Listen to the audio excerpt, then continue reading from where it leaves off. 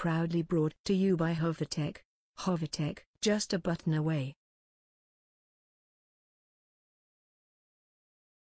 In this tutorial, I'll be explaining how to write IMEI to Spreadtrum Android device using NCK Box Spreadtrum module. I've launched the module.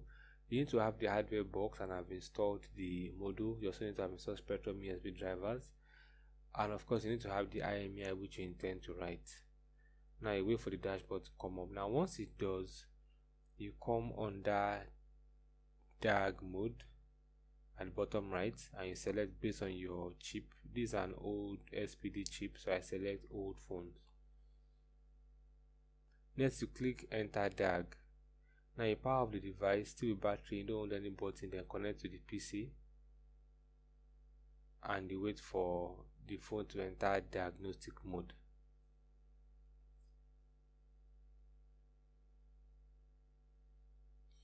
now you should get a done message once you get this you come on that port and then click on refresh. Now from this drop down you select the dark port. Next you come under IMEI SN write Wi-Fi sorry and you tick the appropriate boxes based on what you intend to write. I'll be writing only IMEI 1 so I copy and I paste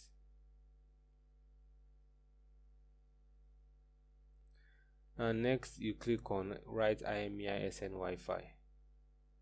And you should get a done message. So that's how to write IMEI to an SPD device using NCK box Spreadtrum module